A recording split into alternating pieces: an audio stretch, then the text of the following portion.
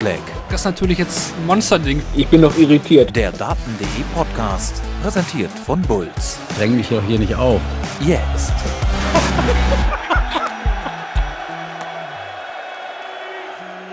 In der neuen Folge von Shortleg, dem Daten.de Podcast, präsentiert von Bulls, schauen wir natürlich auf alle wichtigen Geschehnisse in der Westfalenhalle zurück. Und ja, erst für euch für Ort und jetzt auch noch für die Analyse am Start. Marvin van und Kevin Barth. Hi Kevin. Hallo, noch reicht die Energie. Grüße gehen raus an unsere Twitch-Community. Wir sind wieder live dabei, eine große Folge. Deswegen auch wieder der Aufruf an euch, gerne über den Chat beteiligen. Falls ihr auch noch Gedanken zum Wochenende habt, falls ihr auch vielleicht Fragen habt an uns. Wir waren ja die ersten drei Tage komplett vor Ort. Ähm, ja, gerne in den Chat schreiben. Wir versuchen das dann mit einzubinden in die Sendung. Und für alle, die sich hier nachträglich reinschalten im Real Life, danke fürs Einschalten. Natürlich auch an euch. Ihr könnt Shortleg hören, zum Beispiel auf der Plattform Spotify, auf meinsportpodcast.de oder auch Apple Podcasts oder auch dem Daten YouTube-Channel. Da findet ihr auch ja, viele, viele Interviews vom Wochenende in Dortmund, zum Beispiel zwei mit Ricardo Petechko, aber auch sicherlich spannende Aussagen von Luke Humphreys oder auch von Gary Anderson, falls man ihn denn versteht, aber man kann natürlich auch den Untertitel anmachen, dann sollte das vielleicht etwas besser laufen beim Schotten.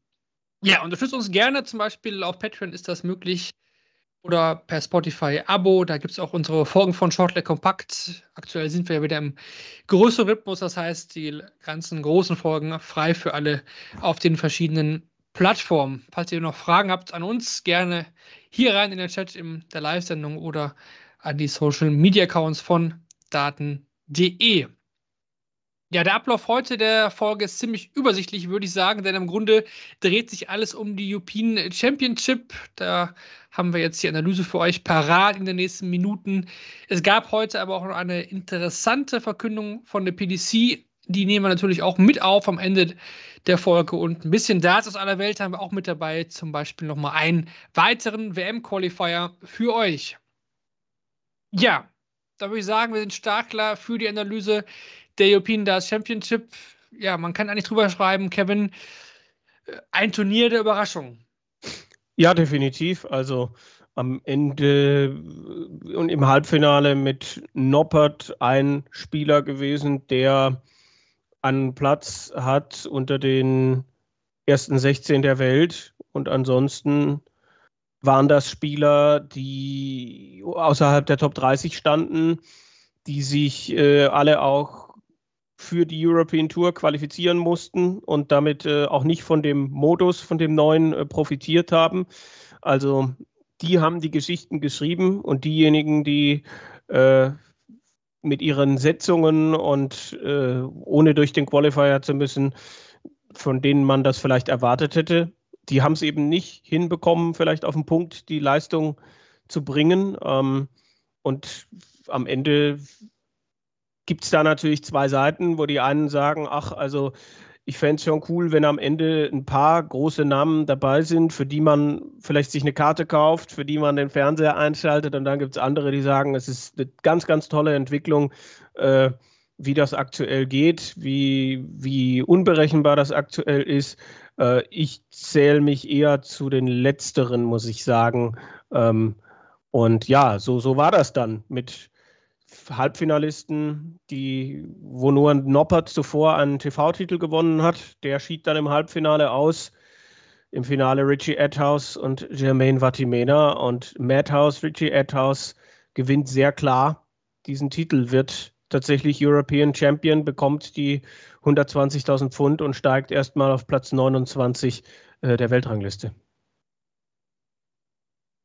Ja, er hat das erste Spiel des Turniers bestritten am Donnerstagabend und dann auch das letzte erfolgreich mhm. bestritten.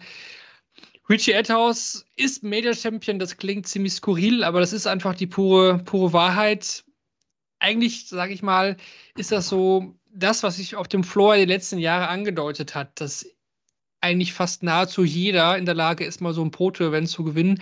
Sich das ein bisschen auch jetzt auf die Bühne übertragen hat, zumindest bei den letzten beiden Major-Turnieren, denn wer hätte schon mit Mike Decker und wer hätte schon mit Richie Edhouse gerechnet, wobei wirklich alle ja, alle Spieler, die Rangnamen haben, mit dabei waren. Jetzt beim European Championship war es eigentlich nur Dimi aus den Top 16, der nicht am Start war, der sich mhm. nicht qualifizieren konnte. Deswegen lasst uns erstmal nochmal auf den Weg von, von Richie Etthaus schauen, denn auch in unserer Vorschau hatten wir ihn eigentlich, ja, schon in Runde 1 rausgetippt, wenn man ehrlich ist. Äh, gegen Rian van Veen war er aus deiner Sicht wahrscheinlich auch der Außenseiter. Ja, ja. Und äh, dann kam er da mit über 109 um die Ecke und hat äh, Van Veen da mit 6 zu 1 an die Wand gespielt. Ähm, natürlich, das war sehr beeindruckend. Mehrere vierte Aufnahmen dabei, also mehrere zwölf Data auch und nicht das erste Mal, dass Van Veen in einen so starken Gegner in der ersten Runde reinrennt. Also ich war da mehr bei der arme Chian van Veen als bei, ja, das wird doch jetzt ein Contender für den Titel sein, Richie Adhouse. Ähm, und dann, ja, hat er danach das Spiel äh, gegen Michael Smith, wo er dann äh, mit Hilfe von dem 152er Finish da einen 1 zu 4 Rückstand aufholt. Äh, ist dann 8 zu 9 hinten, gewinnt die letzten zwei Lecks richtig, richtig nervenstark in 2x13 Darts und setzt sich mit 10 zu 9 durch, ohne dass Michael Smith einen Matchstart bekommt. Ähm, und dann trifft er auf Gary Anderson auch wieder ein Spiel, wo man gedacht hat, ja, Chance für den Flying Scotsman ins Finale durchzugehen, vielleicht auch eine Trophäe am Ende hochzuhalten, Fragezeichen. Pustekuchen, Edhouse wieder richtig stark rausgekommen, führt zwischenzeitlich 6-1, checkt 84, 90, spielt ein 10 Data und später, als man so den Eindruck hat, ah, Anderson kommt besser rein, hält er sich den Favoriten in Anführungsstrichen mit einem 164er Finish äh, so ein bisschen vom Leib. Ähm, und dann das Duell der Houses gegen Luke Woodhouse im Halbfinale. Zerfahrene Anfangsphase, aber auch da ist Edhouse der bessere Spieler, macht mit einem 72er Check das 4-1. Danach löscht er noch 117, 11 Data, ähm, spielt das dann souverän nach Hause und das schöne 147er Finish, was er dann auch noch auspackt, um sich dann hier mit 11 zu 5 auch durchzusetzen. Es gab nur ein Spiel, das gegen Smith, gegen Michael Smith in der zweiten Runde, wo es eng wurde. Ansonsten waren das klare Geschichten. 6-1, 10-5, 11-5 und dann im Endspiel gegen Jermaine Vatimena dann eben ein 11 zu 3, ne, wo er mit 2 zu 3 hinten ist und aber neun Legs nacheinander letztlich macht und, und der deutlich bessere Spieler auch ist der, der Spieler, der in einem durchaus nervösen Endspiel halt am besten sein Spiel noch auf die Bühne bringt. 110, 106, 92, 144 und nochmal 92 gecheckt. Also auch hier wieder Timing, Finishing äh, wirklich gut gewesen und bei so einer Finalsession, wo du eigentlich vor allem Überraschungsnamen dabei hast, dass da alle ins Nachdenken kommen und das Niveau nicht mehr ganz so hoch ist wie im Turnierverlauf, das ähm, kann man, finde ich, verschmerzen. Ähm, er war der beste Spieler übers Wochenende gesehen, hatte die 109, hatte auch noch eine 103 gegen Gary Anderson, mehrfach auch dann Mitte 90 noch gespielt und äh, hat das stark gemacht, hat das, was er vor sich hatte, geschlagen und äh, bis auf, wie gesagt, das eine Spiel äh, nicht in Bedrängnis gekommen. Ja, das ist schon mal eine ordentliche Zusammenfassung vom Weg von, von Richie Edhouse. Wir hatten ihn ja auch am äh, Donnerstag im Interview und da hat er ja schon gesagt gegen Ria von Feen, ich habe einfach alles getroffen, was ich wollte. Und das kann man eigentlich auch zumindest für das Spiel, auch gegen Gary Anderson, denke ich, äh, zumindest für drei Viertel des Spiels fast behaupten, dass er da eigentlich auch alles getroffen hat, was er wollte. Und er hat uns ja auch gesagt, dass er sich mittlerweile einfach wohlfühlt auf der Bühne. Ähm, das war lange nicht der Fall. Dieses Jahr ist er eigentlich erst so richtig sein Durchbruchsjahr. Ne? Er hat gute Spiel auf der Porto gezeigt, auf der European Tour wirklich auch konstant die späten Runden erreicht. Zuletzt dachte ich eigentlich eher, okay, jetzt wird er so ein bisschen abgeflacht, aber er mhm. scheint dann doch irgendwie, ja, sich konstant mittlerweile wohlzufühlen. Und das hört man ja schon von einigen Spielern, über die, die dann sagen, ja, European Tour ist eigentlich so das Ding, ne, worüber die dann irgendwie dieses Selbstbewusstsein auch auf der Bühne dann auch irgendwie sammeln und dann auch irgendwie auf die großen Bühnen, auf die Major-Bühnen dann hinbekommen. Und es scheint ja auch beim Madhouse äh, der Fall zu sein. Ich meine, die Leute muss man erstmal so schlagen und er kam dann irgendwie auch nichts in, nicht ins Nachdenken. Das vielleicht beim Luke Woodhouse oder bei Jermaine Watimena dann, dann doch irgendwie der Fall war. Ja, ja, das hat man dann schon gemerkt, dass er, er derjenige war, der am stabilsten war, der bei dem man das Gefühl hatte, da ist das der Glaube und das Selbstverständnis am ehesten da. Der, der konnte am ehesten noch sein Ding machen, äh, Akzente setzen und äh, ja, am ehesten seine Leistung an diesem für alle wichtigen Abend und vielleicht auch once in a lifetime Moment dann auf diese Bühne bringen und vor diese immer noch gut 5000 Fans, die wir dann gestern Abend da noch hatten in der Westfalenhalle.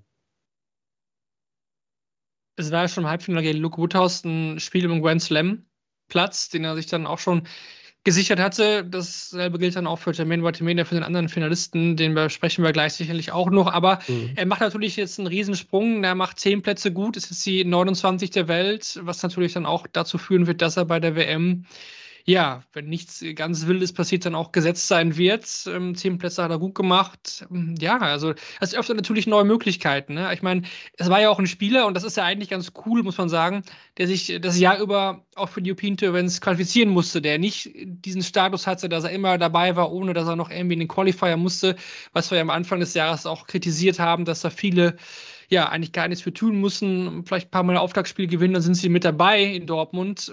Er ist wirklich ein Spieler gewesen, ja, der musste das Ganze ja richtig ackern dafür und irgendwie umso cooler, dass das dann doch irgendwie auch in dieser Form dann belohnt wird. Und er ist ja aber auch kein Spieler mehr jetzt, sage ich mal, in der Mitte 20ern, ein aufstrebendes Talent, sondern auch ein Spieler, der irgendwie im höheren Alter jetzt doch noch, ja, sein Spiel gefunden hat. Ja, jemand, der auch über die Challenge Tour gegangen ist und ähm, sich hochgearbeitet hat und ähm, jetzt halt die Früchte erntet und äh, dann natürlich auch wieder zeigt, dass es äh, in jedem Alter möglich ist, so eine Entwicklung zu nehmen. Also mit einem Darren Webster, das ist auch in einem Mitte, Ende 40 Bereich passiert. Ein Menzo Suljovic äh, kann man sich ja auch ausrechnen, dass der 43 war, als er 2015 angefangen hat, die größeren Erfolge zu bekommen. Also äh, ja, die Tour wird jünger und peu à peu setzen sich gewisse Talente durch, aber es gibt auch immer wieder noch diese Geschichten und äh, auch das macht diesen Sport aus und macht ihn lebendig.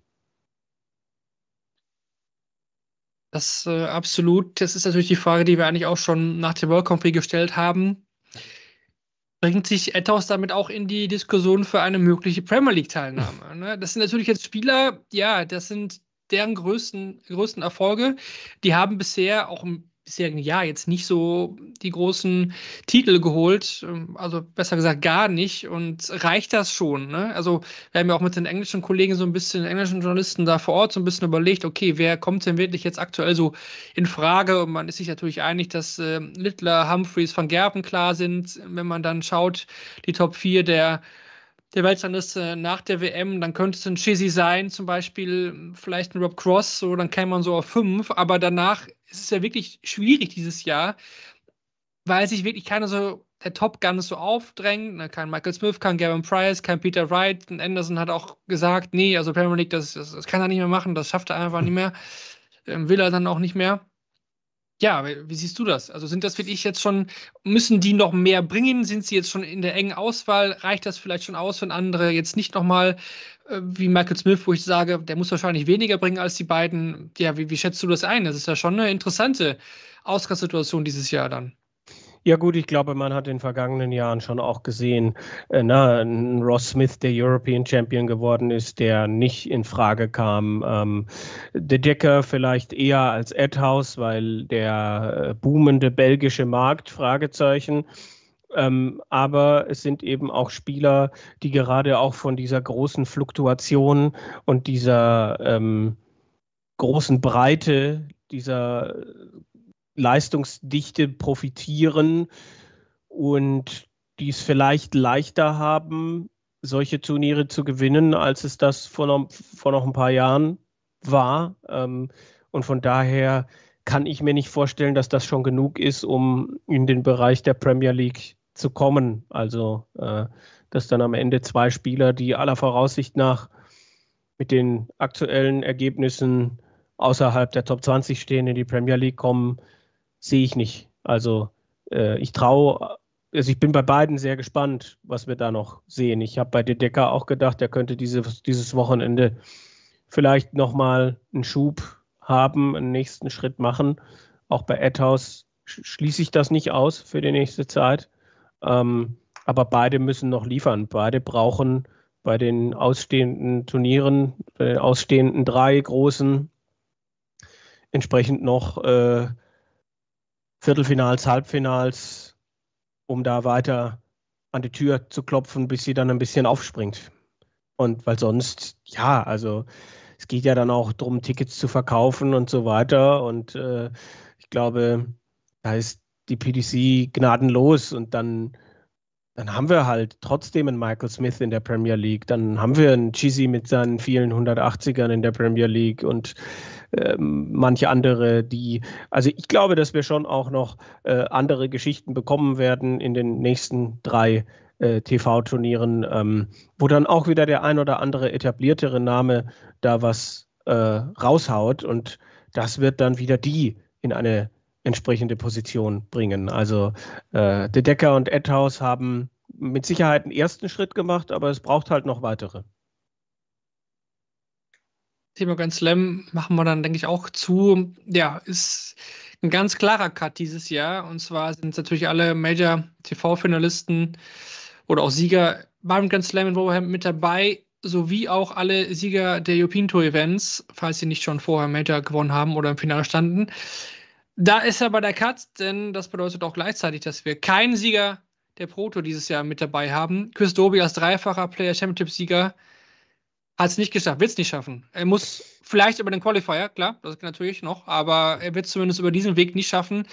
Ähm, der, das Feld ist in dem Fall voll, 24 Spieler sind gefunden und acht letzte Qualifier kommen dann noch eben über den Grand Slam Qualifier Ende dieser Woche.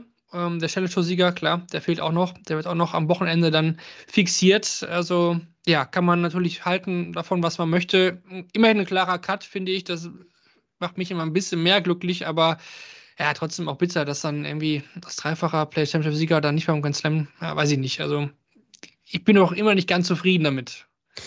Kann, kann ich nachvollziehen. Ja, andererseits hatte Doby irgendwie auch genug Chancen, wenn man sich das anguckt. Äh, na, sich da im TV ähm, dann auch mal so einen Run hinzulegen. Also wenn man, wenn man sieht, was da andere geschafft haben. Äh, ja, natürlich kann man immer noch diskutieren, ob denn ein World Cup-Finalist, ein Unterlegener, dabei sein sollte und ein ne, Mensur und Roby jetzt beim Grand Slam sind und, und andere in die Röhre gucken. Ich finde, man, man kann an diesen Kriterien drehen, auch mit diesen ähm, Affiliate-Tour-Siegern, die dann da reinzuhieven.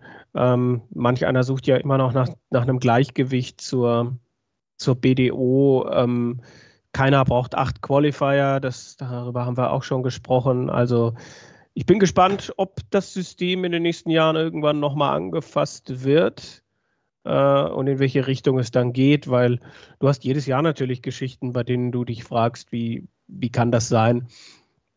Aber äh, bei einem Doby denke ich mir halt auch, ja, dann, dann musst du halt mal wieder im TV die Ergebnisse liefern, wo ich jetzt halt auch mal gucken könnte, wann da, wann er irgendwie das letzte Mal in einem großen Halbfinale in einem Ranking Major gestanden hat. Bei der letzten WM, da sehe ich ihn noch im Viertelfinale unglücklich verlieren, aber äh, das ist halt jetzt auch schon wieder zehn Monate her. Da muss jetzt halt einfach auch mal wieder was Neues kommen.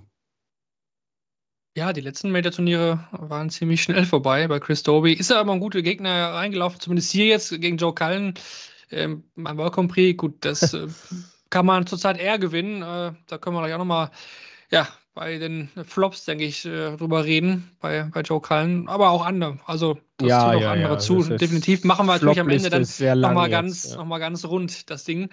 Ähm, ja, dann vielleicht mal kurz zum, zum Finale. Es standen sich ja die 35 und die 37 zum Zeitpunkt äh, vor dem Turnier. Der Out of Merit im Finale gegenüber, das dann Richard Edhouse ebenfalls dann halt gewinnt.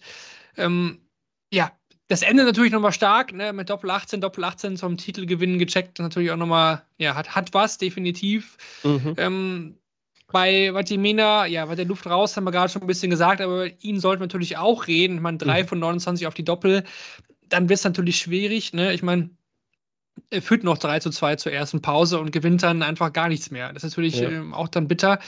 Aber auch ein Spieler, der jetzt A natürlich den Gunst der Stunde bei diesem Turnier genutzt hat und aber auch in den letzten Wochen, ja, das auch schon so ein bisschen hat ähm, aufgezeigt, dass da ja irgendwas auch so passiert zu sein schien, was ihn jetzt zu diesen ja, ansteigenden Leistung gebracht hat. Ja, peu à peu Ergebnisse gesammelt. Äh, ich glaube, sein Manager hat gestern äh, nebenbei mal gesagt, äh, er wird langsam erwachsen ähm, ist schon interessant, weil du vor ein, zwei Jahren bei ihm gedacht hast, ja, er ist ein Spieler, bei dem du nicht weißt, was als nächstes passiert. Ob der dann doch irgendwie die Tourcard verliert und äh, da rausrutscht, äh, war mal die Nummer 18 der Welt, ne? Also und dann abgestürzt und ähm, jetzt scheint er die Kurve wieder zu kriegen, ne? Und hat natürlich auch ein bisschen das Glück, dass er da in der ersten Runde einen Peter Wright kriegt, bei dem gar nichts läuft, äh, haut den da 6-0 weg, ähm, gewinnt in der zweiten Runde ein unfassbar hochklassiges Spiel gegen James Wade, bei dem er einen 1 zu 5 Rückstand aufholt. Wade mit acht perfekten Darts. Äh, Vatimena aber mit 100 plus Average immer dabei und checkt dann halt in einem richtig starken Decider, wo Wade auf 100 Rest steht, äh, die 124 auf dem Bull zum 12 Data weg. Und ja, dann auch äh, ein, richtig gutes Viertelfinale gespielt gegen, gegen Luke Humphreys. Also den da so zu dominieren, das ist auch ein Zeichen. Im Halbfinale mit Sicherheit auch eine gewisse Portion Glück letztlich gehabt, äh, dass äh, Noppert so viel liegen lässt. Also da waren viele Steals für Vatimena dabei, der dann natürlich bei 10 zu 10 im Halbfinale einen unfassbar guten Setup-Shot bei 206 Rest spielt, die 174 für 32 und äh, nutzt dann den zweiten Matchstart für einen 14-Data. Also da war schon viel Klasse auch dabei. Ähm, es muss wohl danach sehr emotional gewesen sein hinter der Bühne. Also er muss wohl da richtig äh, so ein bisschen positiv gesehen zusammengebrochen sein erstmal. Und was ich so mitbekommen habe, es ist dann schön, wenn man äh, den Sam Sonntagabend zufällig bei den an diesem Gästetisch da verbringt, wo die, wo die Spielergäste sitzen und da das ein oder andere aufschnappt. Äh, der hat äh, zwischen, zwischen Halbfinale und Finale in den 15 Minuten Pause äh, auch auf Anweisung seines Managers keinen Dart geworfen. Also der Manager hat gesagt, äh, bitte setz dich hin, guck, dass du irgendwie deinen Puls wieder in den Normalbereich kriegst. Du musst jetzt nicht noch irgendwie Darts werfen, äh, komm einfach wieder mit den Emotionen runter und äh, so eben. Und das war halt einfach für ihn, der, der noch nie so einen Erfolg gehabt hat, äh, mit Sicherheit eine recht kurze Zeit, in der du all das verarbeiten musst und vielleicht gar nicht verarbeiten kannst. Da hatte Edhouse natürlich vielleicht den Vorteil mit der einen Stunde mehr Zeit. Andererseits haben wir ja einen European Tour Modus, der seit Jahren so ist, ähm, wo man sich ja als Spieler auch irgendwie ein bisschen dran gewöhnen kann. Aber es wäre ja jetzt auch nicht so gewesen, als hätte Vatimena schon oft ein Finale in diesem Bereich gespielt. Also ähm, er, er führt 2-0 und danach hört er auf zu spielen. Danach ist der Fokus weg, danach in, in diesem Endspiel äh, ist der, der Glaube ab einem gewissen Punkt auch nicht mehr da. Also Manager ist immer wieder aufgestanden und hat Jermaine Belief gerufen und äh, es gab halt auch einige Würfe auf Doppel, wo anscheinend von der Körpersprache schon von Anfang an nicht so richtig ähm, er daran gedacht hat, dass der jetzt drin ist und ich meine, heraussticht da natürlich äh, die Situation, wo er 3, 5 hinten liegt und dann in den nächsten beiden Legs insgesamt zwölf Darts auf Doppel bekommt und keinen einzigen reinmacht. Und statt 5-5, was durchaus realistisch gewesen wäre, steht es 3-7. Und wie Edhaus das dann danach nach Hause spielt, das angesprochene 92er-Finish am Anfang, dann noch die 144 und nochmal die 92, schön mit Doppel 18, Doppel 18. Das war natürlich herausragend, dass, dass da nicht nochmal irgendwie so eine, so eine Ziellinienpanik gekommen ist. Ähm, Jermaine hatte seine Momente an diesem Wochenende, äh, konnte aber einfach im Finale, konnte einfach nicht mehr. Das ist eigentlich ein ganz guter Punkt, denn hier kam auch im Chat äh, eine Frage rein, die kann man jetzt eigentlich ganz gut einbinden. Und zwar lautet es da, findet ihr, dass die PDC am Spielplan etwas ändern sollte? Fand die Sonntagabend-Session von den Average-Leistungen sehr enttäuschend, nachdem die anderen Tage und auch der Nachmittag doch richtig gut war? Gut, man muss sich halt auch immer fragen, was man ändern kann. Das Einzige, was man machen kann, ist halt zu sagen, dass man, ähm, äh, dass man am Freitagnachmittag spielt, zusätzlich. Dann hast du eine weitere Session. Dann bist du, äh, dann musst du halt am Freitagabend schon mit den Achtelfinals anfangen. Dann spielst du Samstag noch Achtelfinals, dann spielst du Samstagabend Viertelfinale. Dann wird es Leute geben, die samstags zweimal spielen. Und äh, das ist dann die nächste Diskussion, die wir führen. Äh, und dann hättest du natürlich Sonntagnachmittags die Halbfinals und abends das Finale. Aber dann würden manche drüber nachdenken, ob sie das Halbfinale länger machen, so wie wir es beim Grand Slam auch haben. Also äh, sie quetschen das aus den vier Tagen raus, was irgendwie drin ist. Und äh, man kann dann gucken, ob dann der zweite Halbfinalist ähm, vielleicht, ja, weiß ich nicht, nochmal 15, 20 Minuten mehr Pause kriegt. Aber ich wage zu bezweifeln, dass das das Niveau in irgendeiner Form dann nochmal angehoben hätte. Also es war ja jetzt auch nicht so, dass Edhouse an seine absoluten Top-Darts anknüpfen konnte. Und äh, das sind diese ITV-Turniere, das sind diese ITV-Kontrakte mit diesen maximal vier Tagen. Mehr wollen sie das anscheinend auf so einem Free-TV-Sender nicht machen. Ähm, und ja, in einer idealen Welt würde es bei einem Major-Turnier nicht zwei K.O.-Spiele für einen Spieler an einem Tag geben. Das möchte ich auch sagen, aber ähm, ich sehe nicht, wie man es verschieben, wie man es verändern sollte. Also beim Grand Slam finde ich es ja sowieso schon falsch, dass es am Finaltag da nachmittags Halbfinale und abends Finale gibt bei diesen Distanzen. Also das, ähm, das ging da halt beim Grand Slam auch anders. Beim also, Grand Slam geht es anders und bei, beim diesem Turnier finde ich geht es kaum anders besser. Also es kommt gerade der Vorschlag im Chat 16 Spiele am Stück in einer Riesensession. Äh, ja, das gab es mal als Notlösung, gab das mal auf der Jopinto, gab es sowas auch mal, dass wir da mal durchgespielt haben. Aber äh, wer soll denn, wann soll man denn anfangen am Donnerstag? Soll man dann um, um 2 Uhr anfangen? Das ist auch dann relativ leer, also finde ich es auch nicht. Und man hat dann natürlich auch wieder das Problem, dass man das auch schon ein bisschen wieder, ja, ich sag mal, ja, so, zu große Distanzen sprechen, dann haben wir wieder Matchplay-Distanzen, wo es dann noch am Ende der Unterschied. Also ich finde, ähm, das, also es passt du musst halt Turnier, aus meiner Sicht passt das. Du musst halt, du musst halt äh, also es gibt Turniere, bei denen verschiedene Dinge verlangt werden. Der Grand Prix ist ein Turnier, bei dem du einen Double-In, Double-Out-Modus spielen musst. Äh, der Set-Modus ist dabei. Äh, die WM ist die WM und zeichnet sich ja auch da, dadurch aus, dass man am Anfang mehrere Tage Pause zwischen den Spielen hat. Beim Matchplay gibt es die langen Distanzen, gibt es die, äh, die Regel mit den Two Clear Legs und andere ITV-Turniere sind eben in, in so einer Form halt dann da, dass du, dass du sagen musst, okay, wir reden hier dann halt auch über, über eine Ausdauer, sowohl körperlich als auch ähm, Kopf. Wir reden hier über, über Sport, der, der gemacht wird. Äh, ich glaube, es ist schwierig. Hochfahren, dann ein paar Stunden runterfahren, dann vielleicht das zweite Halbfinale spielen, gewinnen, kaum Zeit haben. Das sind Dinge, die schwierig sind, aber äh, ja, ich glaube, dass das dazugehört, ähm, dass das etwas ist, was, womit wir irgendwie leben müssen. Also äh, wie man da jetzt vier Tage, wie man das umstellen soll, da bin ich jetzt auch so ein bisschen überfragt, weil du wirst ja, du hast es eben angesprochen, kann man Donnerstag 16 Spiele am Stück machen. Ähm, und dann spielst du halt hm, klar, irgendwie, spielst du vor einer leeren Halle. Nee, ich glaube, glaub, das passt auch. Ich meine, ähm, man muss ja auch Leute betrachten, wer war jetzt hier im Halbfinale?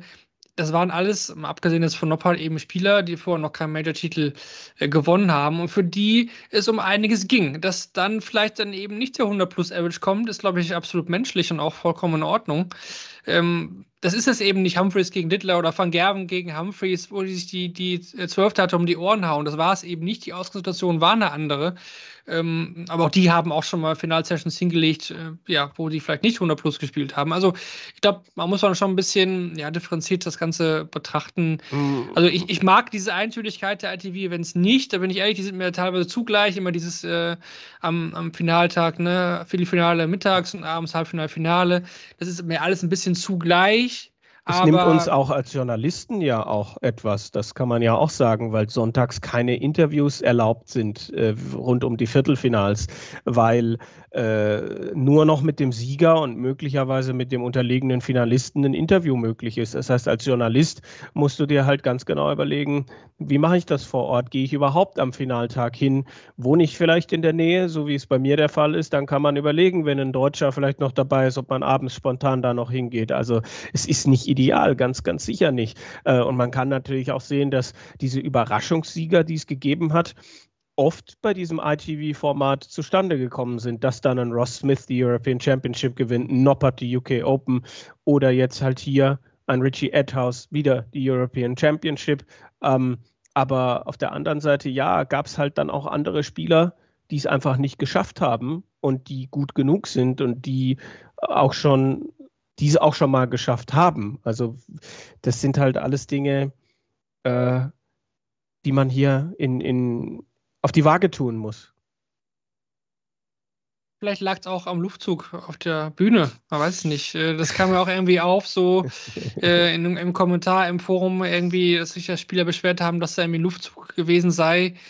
Also ich war in die ersten Tage stand ich auch, also außer jetzt am Sonntag war ich nicht mehr vor Ort, aber ich kann auf so den ersten Tagen zumindest nichts äh, behaupten, dass da irgendwie Luftzug war. Also es hat sich auch, ich weiß auch gar nicht, wo dieses her, das hergekommen ist. Ich habe Dirk hat mal was gesagt. Ne? Ja gut, Dirk. Ja, Dirk hat Dirk sich beschwert. Sich der hat sich beschwert. Das haben dann andere, die aus demselben Stable sind, mitbekommen. Interessanterweise haben, hat, hat sich dann Luke, der aus demselben, Luke Humphreys, der aus demselben Managementbereich kommt, auch beschwert. Und interessanterweise hat sich Danny Noppert, der ebenfalls in diesem in diesem Management ist, soweit ich das weiß, auch beschwert. Also das äh, ist dann schon zumindest interessant. Das sollte man zumindest äh, im Kopf haben, wenn man darüber redet, wer sich beschwert hat. Ja, vielleicht fand deswegen die Leistung vielleicht nicht ganz so. Ich weiß nicht, ich fand es auch äh, überhaupt nicht relevant, aber gut, wir sollten das mal erwähnt haben, weil es ja zumindest ein bisschen aufgekommen ist. Ja, dann haben wir, glaube ich, die Finalisten Richie Etthaus, Jermaine Martimena schon gut durchleuchtet. Ich meine, für Bulls läuft es ja aktuell ganz gut. Ne? Mike de Decker als Bulls-Vertreter, ähm, Sieger beim World Grand Prix, Martimena jetzt im Finale. Martin konnte man verpflichten, da reden wir gleich auch noch drüber. Wir Martin Schindler natürlich, aber wollen erstmal noch über die, die anderen Halbfinalisten reden. Ja, Luke Woodhouse, auch für ihn war das eine neue Nummer, Major-Halbfinale. Mhm. Konnte dann da nicht mehr ganz so an das anknüpfen. Ich meine, Rothaus hat sich schon auch so ein bisschen, finde ich, ja, durchgemogelt. Also mhm. der war jetzt nicht so stark wie ein Richie Etthaus, der ja wirklich von vornherein hier performt hat. Ähm, er hat natürlich in der ersten Runde Ross Smith rausgenommen. Ja, da hat man vielleicht gesagt, das kann passieren. Favorit war da jetzt vielleicht nicht für jeden. Ja, Dann Searle Ryan war in der Searle zweiten geschlagen. Runde nicht sonderlich gut. Das also da waren viele Ausreißer dabei. Dirk hatte nicht seinen besten Tag in diesem Viertelfinale. Also äh, bei Woodhouse ist das, hat das, sind das alles so ein paar Abstriche mehr als bei den beiden anderen aus meiner Sicht. Und auch anders als bei Noppert, der mich wirklich positiv überrascht hat, den ich schon lange nicht mehr so stark erlebt habe. Weiß nicht, wie es dir ging. Ja, ähm, denn Dorsten meinte ja auch, Danny Noppert, ähm, world class, ne? Also ich habe ihn gar nicht so stark gesehen dieses Jahr, so wirklich so ein bisschen under the mhm. radar. Ähm, wenn man jetzt durch detailliert reinschaut, dann ist das, hat das schon Hand und Fuß, was er spielt. Oder er hat ja auch zu uns gesagt, dass er wirklich eigentlich gut spielt. Also von der Leistung her, wenn man das vergleicht, meint er, ähm, auch von den Averages her, war er doch sehr zufrieden, ähm, muss man sagen. Ähm, eigentlich ist er natürlich auch dann in so einem in einer Finalsession ein Spieler, der das ziehen kann. Ne? Also er war ja. natürlich von der Aufmerksamkeitsposition her ganz klar der Höchstplatzierte. Und er hat auch zu uns gesagt, er will in die Top 8 zurück. Das ist sein Ziel. Das hätte er auch geschafft, wenn er das Turnier gewonnen hätte. Ähm, er hat gegen ja. Germain viel verschenkt im Halbfinale. Aus meiner ja. Sicht dann irgendwann angefangen, darüber nachzudenken, was möglich wäre. Und äh, dann waren da auch Ausreißer beim Scoring mit dabei und dann das Lamentieren mit dem Luftzug. Ähm, und und äh, ja, also Noppert war derjenige, der vielleicht am meisten zu verlieren hatte in diesem Halbfinale, weil, weil, man, weil man gewusst hat, na, dass er das schon mal gewonnen hat und derjenige, bei dem man am Ende vielleicht sagen kann, okay, da war mehr möglich. Definitiv, würde ich auch ähm, so sehen. Aber ein Halbfinale, darauf kann man sicherlich auch die nächsten Wochen dann aus der Sicht von Danny Noppert nochmal ausbauen er hätte vielleicht im Viertelfinale so viele Chancen verpassen sollen gegen Ricardo. Ähm, dann lass uns vielleicht einfach jetzt über Ricardo reden. Würde ich mhm. einfach sagen, wir haben uns ja die Halbfinalisten dann auch besprochen. Ja, die deutsche Hoffnung war ja noch dann am Sonntag ja, vertreten in Form von Pikachu. Wir hatten natürlich nach Donnerstag schon ein bisschen Angst, dass wir gar keine Deutschen mehr ins Wochenende bekommen. Das hat dann Ricardo zum Glück dann noch hinbekommen. Ähm, vielleicht gehen wir dann auch erstmal in sein Auftaktspiel rein gegen Damon Hatter, was ja hm. durchaus auch ähm, hätte anders ausgehen können. Das, da war schon auch ein guter und starker Endsport vonnöten vom Deutschen. Ja, definitiv. 0 zu 2 hinten gelegen, kommt wieder zurück, äh, gerät 3 zu 5 in Rückstand, äh, lässt auch das ein oder andere auf die Doppel liegen, aber macht das dann stark, kommt richtig gut wieder zurück. Das 64er Finish unter Druck in zwei Darts zum 5-5 und dann dieser Decider mit dem 102er Finish, wo Hatter auf 71 steht. Das äh, war herausragend da auf der Bühne. Mit, na, bestimmt hilft da dann auch das Publikum, aber die Art und Weise, also das war ja richtig gut im Vergleich auch zu dem, wie, wie dann immer wieder der Kontrast da ist, dass wir ganz genau wissen, dass dieses Jahr die Ergebnisse bei weitem nicht immer gepasst haben und sich dann da so, so durchzusetzen, das so noch zu drehen in der ersten Runde. Er hat ja auch gesagt, er mag es, wenn er hinten ist. Das ist auch eine Eigenschaft, die du erstmal, die du erstmal haben musst, äh, statt irgendwie die Angst vor der Niederlage. Ja, brutal. Da gab es eine Situation, da haben wir uns ähm, im Presseraum mit aufgeregt, dann hatte er noch 80 Reste, noch einen Dart und dann ähm, geht er auf die 16. Also nein, er nimmt sich doch einen Dart. Das war eine super wichtige Situation, kurz vor, in der wirklich Crunch-Time, kurz vor Ende der Partie. Aber auf Triple 16 war wirklich sehr, sehr sicher. Ähm, am Donnerstag ähm, er wollte ja, was wollte er auch über die 16 checken? Was war das? 136, Triple 116, 16, Triple 16 Tops und es gab einen äh, Co-Kommentator, der das nicht verstanden hat. Äh, ich finde, es gibt andere Dinge, gerade diese 80 mit 16, darüber kann man diskutieren, aber 136, da gibt es drei Möglichkeiten, mit zwei Trippeln das zu spielen. Triple 20, Triple 20, Doppel 8. Es gibt aber auch Triple 19, Triple 19, äh, ja, doch, ja gut, das spielt keiner. Triple 18, Triple 18, Doppel 14 ist auch eine Möglichkeit. Und wenn dann der Erste in die Single 16 geht, was ist denn dann passiert? Dann stehe ich auf 120 und kann mir mit Single, Triple Kombinationen Doppel stellen. Also das ist für mich kein Fehler, bei 136 auf Triple 16 anzufangen. Ähm, Gerade wenn man sie so sicher trifft wie er. Wer checkt, hat recht, könnte man ja auch sagen. Ähm, zweite Runde natürlich dann irgendwie auch das Glück gehabt, dass Andrew Gilding äh, irgendwie gar nicht reingekommen ist. Ne? 5-0 die erste Session, da haben wir auch gedacht, okay, krass. Ähm, ja, immer wieder. Ne, das ähm, hat dann gar nicht stattgefunden. Ähm, mhm. Also, da hat er einfach profitiert auch von einem schwachen Gegner. Das hat er dann aber souverän gemacht. Das ist natürlich auch die Schwierigkeit in so einem Spiel dann gegen Gilding, dass man wirklich die Konzentration oben halten muss. Wenn man wirklich merkt, vom Gegner kommt wenig bis gar nichts, man ist ey, wirklich nicht gefordert, hat er auch dann zu uns nachher noch gesagt im Interview. Also, wie gesagt, könnt ihr alles nochmal nachhören auf YouTube bei uns.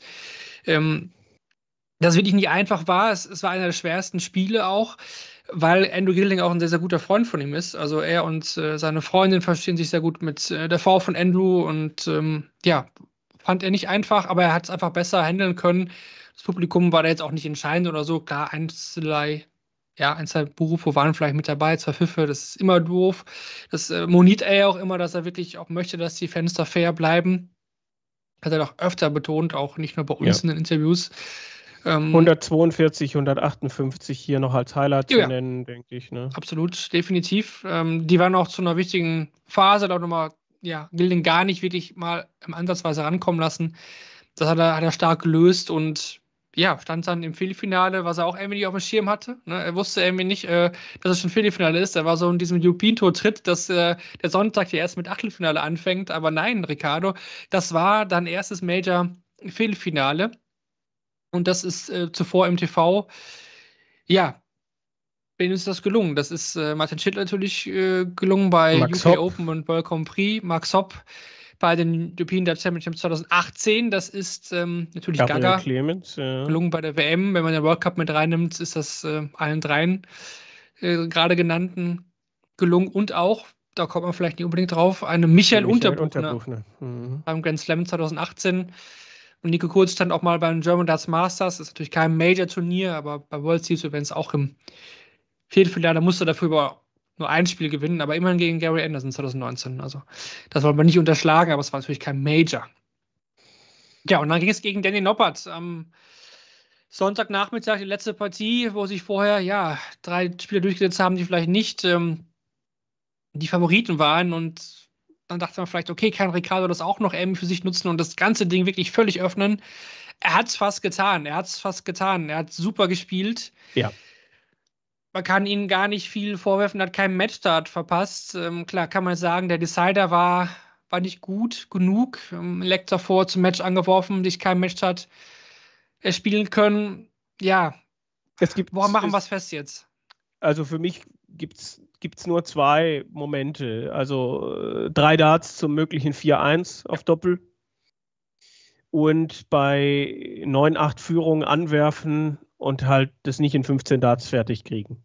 Das sind zwei Momente. Ansonsten war das ein starkes Spiel. Ich meine, die 164 zum 5-5, das musst du ja auch erstmal machen. Also mit dem Rücken zur Wand, wo es eher nach 6-4 Noppert aussah, dass der quasi die ähm, zweite Session mit 4 zu 1 gewinnt und äh, dann auch äh, nach der zweiten Pause immer wieder die Akzente zu setzen, vom ein oder anderen äh, verpassten Doppel auch, glaube ich, zu profitieren, auf 9 zu 7 zu stellen, am Ende an der 100 im Average über 19 Lecks zu kratzen, das ist schon, also Ricardo hat das gut gemacht und Noppert spielt halt am Ende richtig sauber, dreimal 15 Dart, dreimal mit dem letzten ausgemacht und das ist halt einfach nochmal etwas, ja, wo, wo du dann merkst, dass der, dass der Kerl 16 Plätze über Ricardo steht.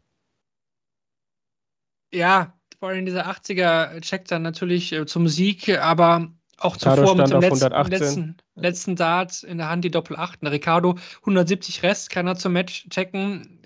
Der erste mit einem Triple 20, der zweite dann leider nicht, der dritte dann eine Bullseye. Ja, er stellt sich 40 Rest und dann macht eben Noppert mit dem letzten Dart, also Doppel 8, das Ding dann zu zum Decider, den er dann anwirft und auch dann gewinnt. Sehr schade, weil ich glaube, wenn ich ehrlich bin, also ich hätte Ricardo alles zugetraut danach Ja. im Halbfinale. Also Ja. das wäre keiner mehr drin gewesen. Guten Edhaus, wenn er das spielt wie gegen Anderson, dann wird es sicherlich schwierig. Aber das hat er ja dann auch nicht mehr getan und auch mit dem Publikum dann im Rücken. Ich glaube, da wäre was ganz, ganz äh, Dickes drin gewesen. Ja, Und jetzt Ja. ist er irgendwie, wenn man ehrlich ist, ja, wenn man auf die Es war Zahlen fast zu schaut, er wenig. ist, er, er, ist ein, er ist irgendwo ein Verlierer dieses Turniers. Das, Mhm. das klingt jetzt doof, aber wenn man sich die Order of Merit anschaut, dann ist eben, eben Richie Edhouse an ihm vorbeigezogen. Ja. Und aktuell, und ja, er hat gar nicht mehr so viel Zeit, das zu korrigieren, sieht es so aus, als wäre er bei der WM eben nicht gesetzt. Und das war ihm schon auch wichtig, hat er uns ja auch in den Interviews äh, verraten. Ja, definitiv. Aber dafür, dass das so im Kopf war, Respekt, wie er das dann vielleicht doch auch zur Seite schieben konnte in diesem Viertelfinale. Also es, es war mit Sicherheit eines der besten Turniere, das Ricardo gespielt hat. Einfach auch im TV und so weiter.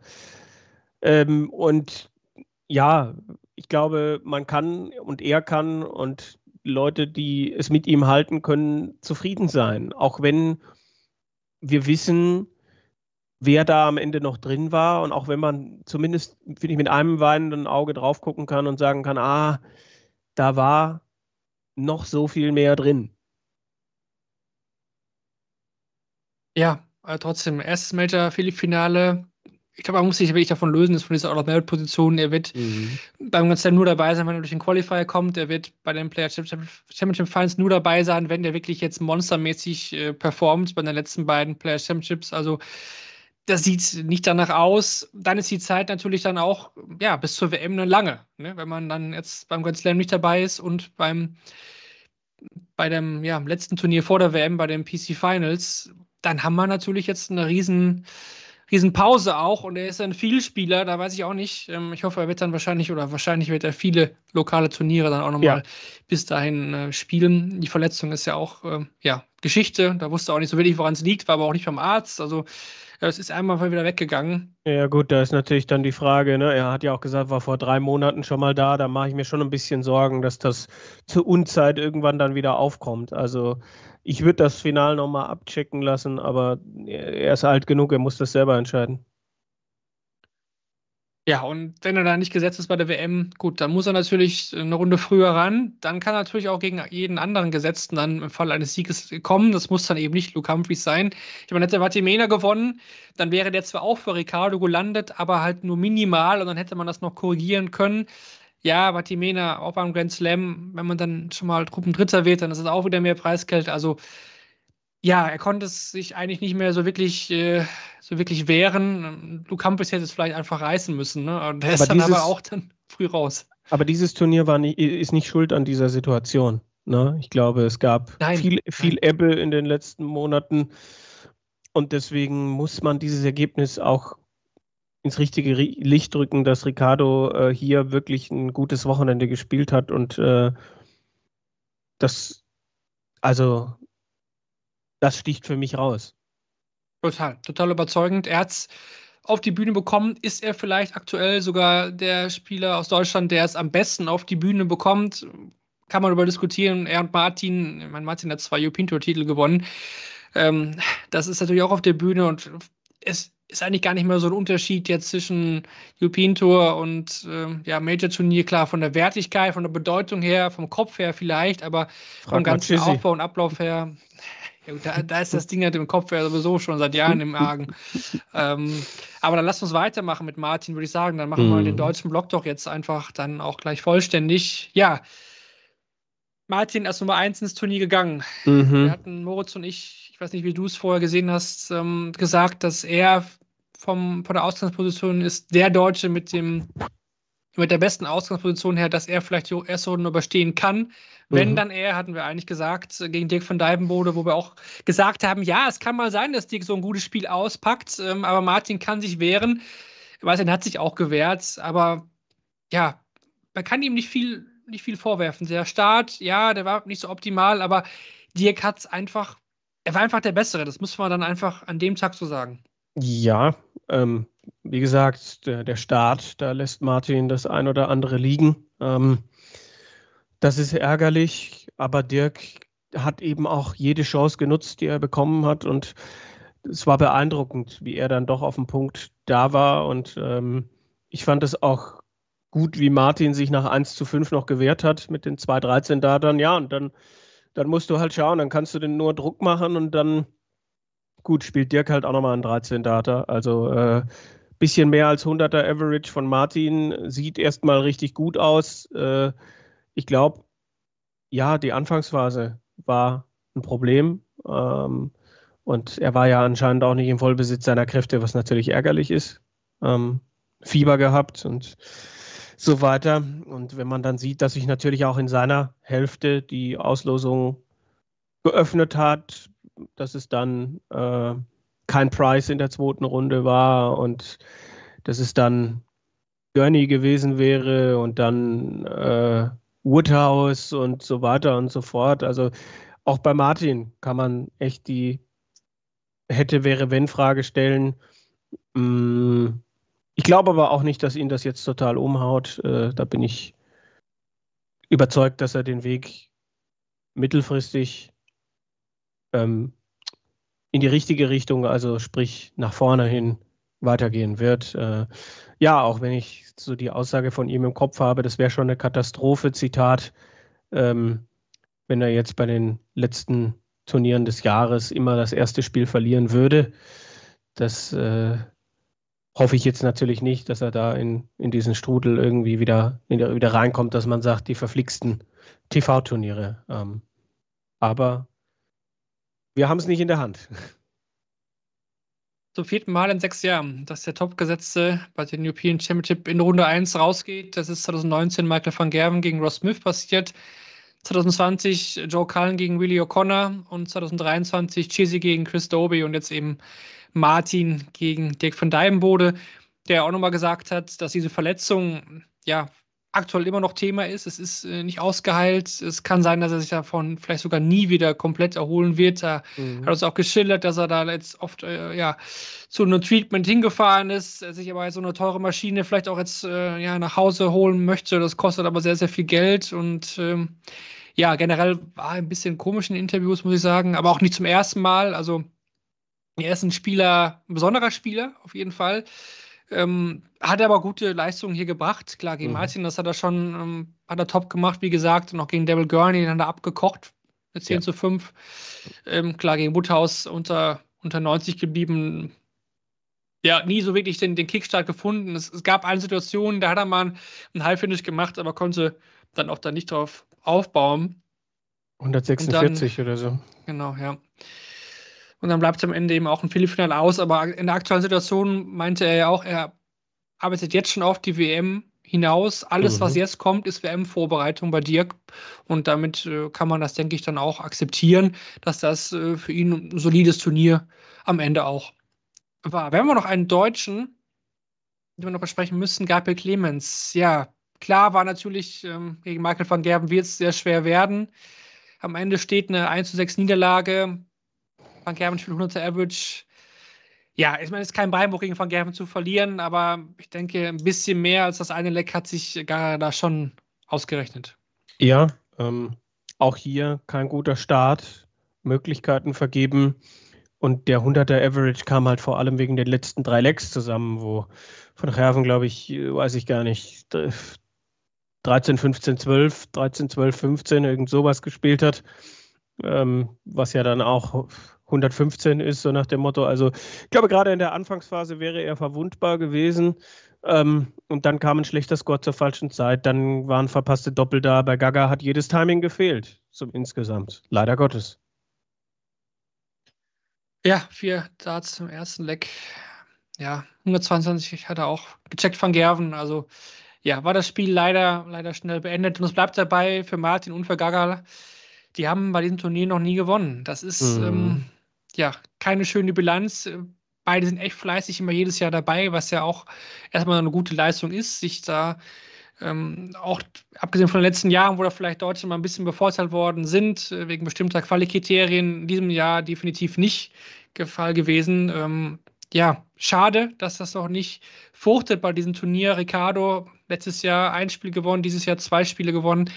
Bei dem läuft es ein bisschen besser, aber sonst ist ja, abgesehen von Hobbs Halbfinale, manchmal ja ein bisschen, bisschen zäh aus deutscher Sicht das, das Turnier, aber es hat ja doch dieses Jahr auch seine positiven Phasen. Ja, aber trotzdem einige andere Namen zu besprechen. Ähm, es sagten natürlich alle, wenn man sich das Viertelfinale so angeschaut hat, in den Finaltag reingestartet ist und auch die Leistung der ersten Tage mit reingenommen hat, dass Luke Humphries jetzt auch noch dieses Turnier gewinnt. Ne? Also, ich meine, was hat er da alles wieder abgeliefert? Ähm, in der ersten Runde Nathan Espinel 106er Average, der wahrlich nicht schlecht gespielt hat, Espinel, äh, in die Schranken gewiesen mit 6 zu 2 und äh, Johnny Clayton auch überhaupt gar keine Chance gelassen mit 10 zu 3 am, am Samstag. Und dann geht er gegen Vatimé natürlich rein, das haushoher Favorit, aber er hat nicht gezündet. Er hat einfach nicht gezündet nee. und ähm, geht dann mit 10 zu 4 auch deutlich raus und es bleibt dabei. Mehr als das Finale jetzt dreimal in Folge ist für Kudent Luke bei diesem Turnier noch nicht drin. Also irgendwas ähm, scheint da mit Dortmund und Humphreys irgendwie noch nicht so die große Liebe zu sein. Ja, ich fand es beeindruckend, wie er durch die ersten zwei Spiele durchgestürmt ist. Und dann umso überraschender, dass es im Viertelfinale nicht gepasst hat. Also das äh, war für ihn aufgelegt, der Titel, so nach dem Motto. Ähm, und bin gespannt, wie, wie sehr da was bei ihm hängen bleibt. Aber mache mir da bei ihm auch deutlich weniger Gedanken als bei, bei anderen Spielern, äh, über die wir ja vielleicht noch sprechen. Ja, definitiv. Vielleicht noch Gary Anderson mit reingenommen, wo ja viele gesagt haben, oben, das sieht jetzt echt nach Gary Anderson aus. Äh, Und unten dann Humphreys und Anderson-Humphreys Finale hätte es ja geben können. Ähm, war dann schon nach dem Nachmittag klar, dass das nicht der Fall sein wird. Ähm, ja, Gary Anderson lange nicht gespielt bei diesem Turnier. 2016 war das das letzte Mal der Fall. Gegen Steven Bunting am Donnerstag war es eine runde Performance, 100er Average. Ähm, da waren ein paar Doppel am Anfang auch nicht drin. Also vom Scoring her war das äh, eine gute Sache. Und dann auch Michael van Gerven wirklich klar mit äh, 10 zu 4 geschlagen. Mhm. Also ich sagen, van Gerven war da nicht auf seinem Top-Game unterwegs, aber Anderson ja. hat das eiskalt ausgenutzt. Und dann dachte man, okay, ja, irgendwie würde es auch passen, dass Anderson jetzt hier nochmal richtig durchzieht, nachdem er auf dem Floor ja so gut unterwegs ist und jetzt dann auch anscheinend so dann Scoring zumindest auf die Bühne gebracht hat, aber die Doppel, die machten dann wieder Probleme gegen Richie Edhouse, der natürlich zugegebenermaßen am Anfang alles getroffen hat. Das gehört so weit dazu. Aber Anderson hat eben die ein, zwei Chancen, die er hatte auf den Doppeln, dann nicht gemacht. Und mhm. er kam dann am Endeffekt ähm, ja nicht mehr hinterher. Der Rückstand war zu groß. Aber dennoch muss man mit Anderson, glaube ich, schon, also wenn er das vom Floor wirklich konservieren kann auf die Bühnen, mit diesen Leistungen muss man Anderson schon irgendwie schon auch auf dem Zettel haben. Ja, er ist, er ist einer von vielen Namen, die man auf dem Zettel haben muss. Der Zettel wird halt immer größer. Ja, gut. Ich habe ein riesen Word-Dokument, da stehen einige Spieler drin. so ist es nicht, so ist es nicht.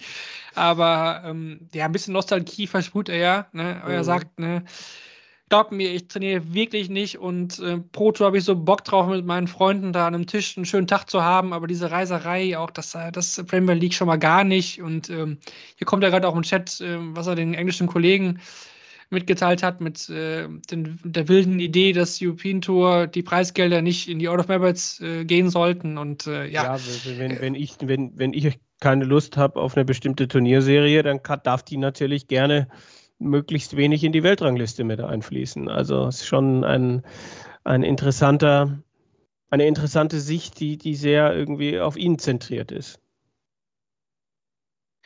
Deswegen, also das, das kann man auch ähm, ins Fabelwesen abschieben, diese Idee. Äh, ja, haben wir noch ein paar positive Erscheinungen. Also eigentlich haben wir die meisten, glaube ich, schon genannt. Ricardo, Mantemena, Woodhouse, Edhouse. Die ganzen Häuser haben geliefert, aber andere Noppert, nicht. Natürlich, ja, ja. Äh, ja, also insgesamt ist es dann schon ein Turnier, wo dir, wo mehr Spieler dir einfallen, die nicht geliefert haben, glaube ich auch, ja. Ja, vielleicht ein Endo Gilding. Vielleicht schieben wir da so was rein und kommen dann auch vielleicht zur anderen Seite. Endo Gilding hat natürlich zumindest in der ersten Runde positiv geliefert und völlig überraschend Luke Littler mit 6 zu 4 bezwungen.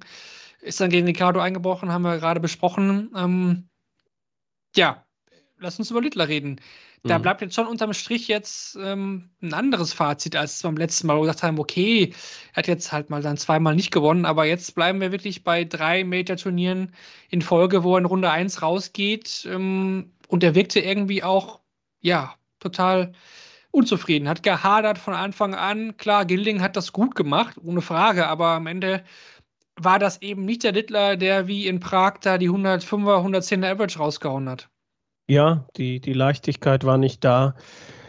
So, als würde sich der Schalter umgehen, umlegen, okay, jetzt wird es besonders wichtig, jetzt muss ich performen, jetzt äh, bin ich unter dem Brennglas und äh, ja, Mist, jetzt habe ich unnötig doppelt verpasst, liegt 0-3 zurück, jetzt muss ich das erstmal korrigieren. Oh Mist, jetzt spielt mein Gegner ein Elfdata mir mitten ins Gesicht und dann habe ich wieder 156er Finish, das mache ich doch ohnehin. Ja, nee, jetzt geht der doch auch vorbei an der Doppel 18. Also es, es lief einfach nicht und äh, ja, so langsam sind das dann, reizt sich das halt so ein bisschen aneinander. Ich fand ihn in der ersten Matchplay-Runde nicht gut. Beim Grand Prix fand ich, stand ihm halt einfach ein richtig guter Rob Cross im Weg. Hier hat das Gilding auch gut gemacht, äh, aber Littler hat auch eben wieder einige Fehler angeboten und ähm, ja, ist mit Sicherheit etwas, was ihn beschäftigt. Mit Sicherheit etwas, wo man jetzt äh, drüber sprechen kann, dass das schon eine Herausforderung ist für ihn, das jetzt wieder klar zu kriegen. Es stehen noch ganz andere Spieler vor Herausforderungen und auch vielleicht mit dem Kampf mit sich selber aktuell Da ist auch Gavin Price zu nennen, der das zweite Spiel ist donnerstags äh, mit 6 zu 3 gegen Devil Gurney verliert und danach auch auf Instagram, da Natürlich. postet er ja fleißig immer in seine Stories, was er so gehalten hat von seinen Spielen, dann auch mitteilt, dass er jetzt erstmal zwei Monate Pause macht und äh, kein Turnier mehr spielen wird oder nur noch zwei Turniere in diesem Jahr. So rum ist es eigentlich richtig ausgedrückt. Ähm, bedeutet, er wird ähm, freiwillig auf den Grand Slam Qualifier ver verzichten, wird dann noch die Player Championship Finals spielen und dann eben die WM. Was halten wir davon? Ich finde es einerseits okay, dass er sagt, okay, ich brauche jetzt wirklich mal vielleicht so einen noch größeren Cut und mal wirklich einen Abstand von Wochen. Allerdings war der Grand Slam eben genau das Turnier, wo er sich immer so wohl gefühlt hat und wo er immer echt gut performt hat, wo ich denke, so wäre das nicht die Chance, gut, er hätte sich erstmal dafür qualifizieren müssen, klar, wäre das nicht die Chance gewesen, da nochmal wieder in die Spur zu finden, weil so, ja, weiß ich auch nicht. Also ist doch viel auch im luftleeren Raum aktuell bei ihm. Ja, gut, man kann dann aber auch die Frage stellen, okay, was wäre denn gewesen, wenn da der Grand Slam auch nicht gut gelaufen wäre? Also für mich ist das so dieses, na, irgendwie im Sommer hat er ja gedacht, ah, jetzt gibt es wieder Zeichen äh, für mich und in der zweiten Jahreshälfte spiele ich ja eh besser. Und dieser Automatismus, den er sich vielleicht auch irgendwie eingeredet hat, äh, so, wo es nicht viel gebraucht hat, dass er gesagt hat, ah, geht doch eh wieder, ähm, der ist halt jetzt nicht eingetreten. Und dann ist er halt sehr schnell wieder sich dem bewusst, was alles nicht funktioniert und dass es ihm gerade deutlich mehr Frust bereitet, als dass es Spaß macht. Und es gab solche Momente in der Vergangenheit auch bei anderen Spielern. Ne? Van Barnefeld, der dann mal ein paar Monate Pause gemacht hat, dem das gut getan hat. Ähm, ein Price, der das jetzt möchte. Also ich, ich kann das verstehen. Ähm, und bin gespannt, was das auslöst. Äh, und ich glaube, auch im englischen Fernsehen war dann halt die Diskussion, ja, du kannst halt dann in so einer Zeit dann halt auch für dich mal so ein bisschen spüren, wie viel dir das noch gibt, wie sehr du es vermisst, wenn du nicht spielst ähm, und ob das dann nicht vielleicht irgendwie eine größere Entscheidung in der Zukunft zur Folge hat, mit irgendwie dann vielleicht es früher oder später ganz sein lassen, Fragezeichen. Ja, also die Passion war bei ihm ja nie da. Ne? Das ist ja immer eher so Job gewesen und nicht äh, ja, Hobby. Oder der Spaß war bei ihm, glaube ich, eher beim Gewinnen dann, ne? wenn man es gut läuft, klar. Aber ist eine prekäre Situation, finde ich schon auch. Also er ist aktuell die Nummer 7, aber spielerisch finde ich, ist er gerade nicht mal Top 16. Mhm. Also Gut, auch das mit einem 96er Average in der ersten Runde war ja wieder gar nicht so schlecht, aber ähm, er holt dafür viel zu wenig raus. Wir wiederholen uns ja hier auch in unseren Shortleg-Folgen.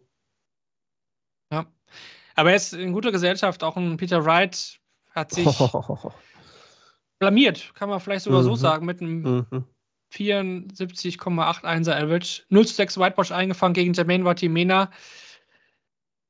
Ja, immer wenn man denkt, er ist wieder da, dann, dann kommt dann sowas. Also, er, er, war ja wirklich vor ein paar Wochen wirklich so weit, dass man dachte, okay, mit dem, mit dem Erfolg und so weiter auf der Pintour, dachte, okay, ja, das sah wieder gut aus, aber dann kommt jetzt wieder sowas oder zuletzt auch öfter wieder. Also, damit kann man nicht arbeiten. Also, da, damit kann er auch selber nicht arbeiten. Ne? Also, das ist also, puh. ich weiß gar nicht, wem es gerade schlechter geht. Also, ich glaube, mental wahrscheinlich Price, aber also auch Wright macht einfach nur Sorge. Also das. Ja, ja also es gibt. Joe Cullen genauso. Also die beiden ja, kann man zusammen in eine, auch das, ein 80er Average, der hat gerade mal über die 80er Linie geschafft, gegen Danny Noppert chancenlos gewesen, 2 zu 6. Auch da muss man sich wirklich mal elementare Fragen aktuell, denke ich, stellen. Aber das werden sie vielleicht auch selbst tun. Ja, hoffentlich. Cheesy, Cheesy nehmen wir auch mit rein. 0 zu 6 gegen Michael Smith. Mm, mm. Wen überrascht ja, das noch? Du, du, nee, ja, du, theoretisch kannst du auch Michael Smith mit reinnehmen, in gewisser Weise. Das finde ich immer wieder mutig, auch seine Aussagen, die er auch bei uns im Interview getroffen hat.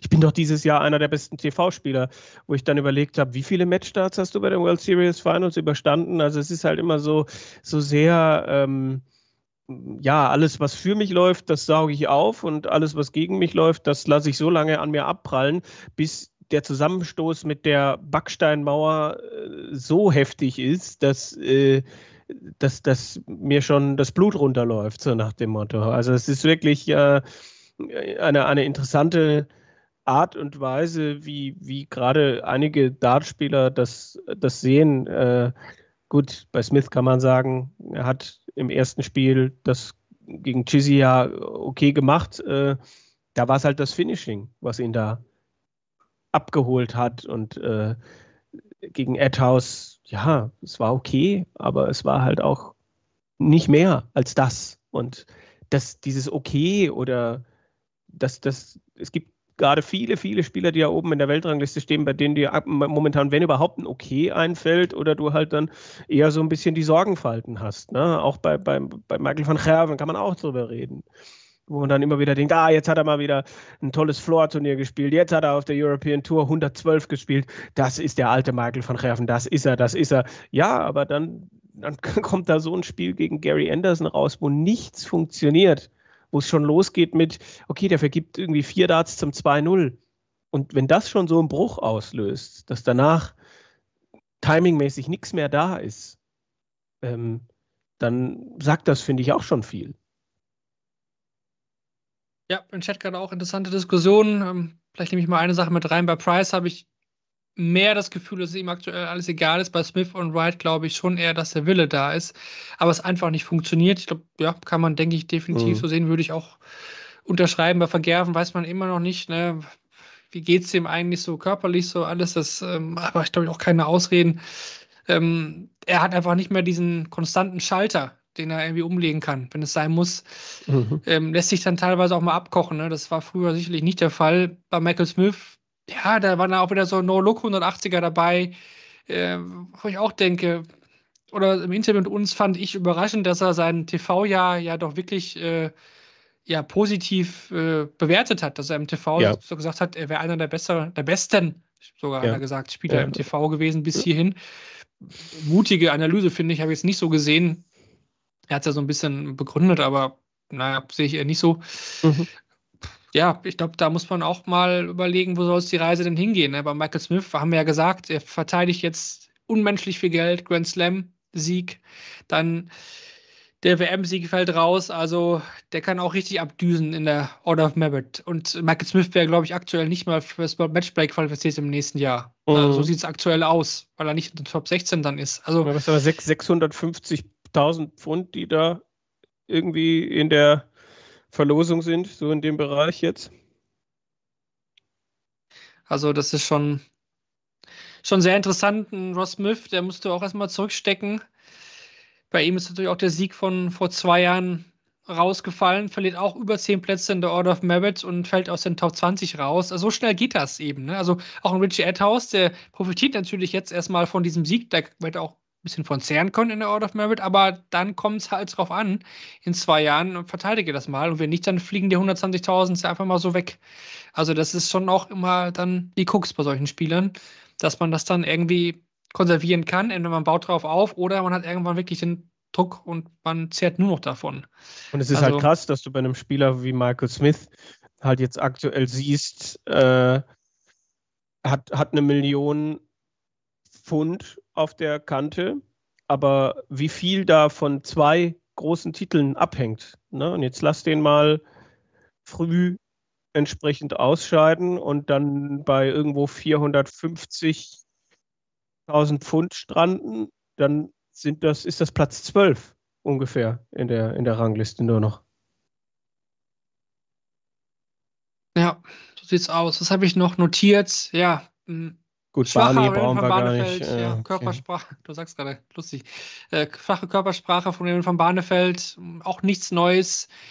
Michael Deck hat eigentlich ja, gegen Josh Rock erstmal an, den, die gute Form angeknüpft, dann war es dann aber doch gegen Noppert ein bisschen, bisschen schwächer. Johnny Clayton, soliden Johnny Clayton kann man sicherlich noch mhm. erwähnen, der aktuell sehr konstant seine Leistung bringt und immer mal wieder so ein bisschen damit schwimmt, aber dann auch nicht weit schwimmt, aber er ist mit dabei. Also er schafft es ins Olympiafinale, irgendwie dann aber Platz 8 so gefühlt aktuell, aber er ist immer dabei. so. Ähm, ja, sonst haben wir, glaube ich, die meisten Sachen besprochen. Man kann natürlich auch nochmal sagen, was ja wirklich auch nochmal unterstreicht, wie viele Überraschungen es hier gegeben hat. Elf der Top 16 Seeds sind in Runde 1 ausgeschieden.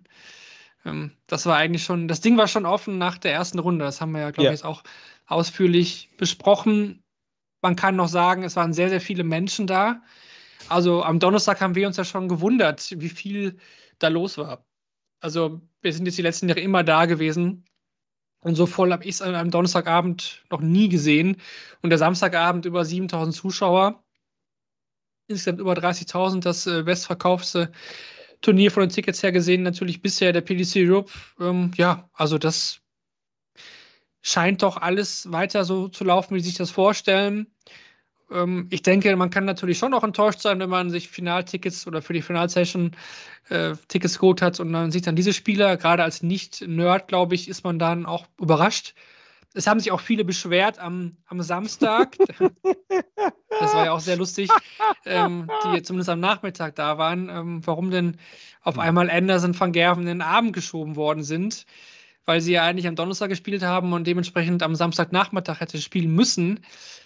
Äh, ja, liebe Leute, die Garantie gibt es da nie. Also man kauft BBC hier Tickets für eine Session. Ja, ähm, die, und es gibt einen TV-Sender in England, der halt nicht zugelassen hat, dass von Gerben mittags um 16 Uhr spielt und damit mit, weiß ich nicht, Fußball und anderem kollidiert und dass man dann tatsächlich äh, den, den äh, Philipp äh, Brzezinski auspfeift äh, und dann irgendwie beim auf die Bühne rufen dieses vierten ähm, Spiels, äh, was war das, Noppert gegen De Decker, irgendwie da auch nochmal äh, äh, boot und macht und tut, weil man jetzt irgendwie dieses Spiel nicht sehen kann. Also äh, ja, das, das, ich finde, es ist ein Risiko und auf der European Tour ist das Risiko noch mal größer, wenn ich Tickets kaufe, aber bei der European Championship ist ja, also ganz ehrlich, wenn ich im Juli WM-Tickets kaufe, dann weiß ich da auch nicht, wen ich am, am 1. Januar zu sehen bekomme.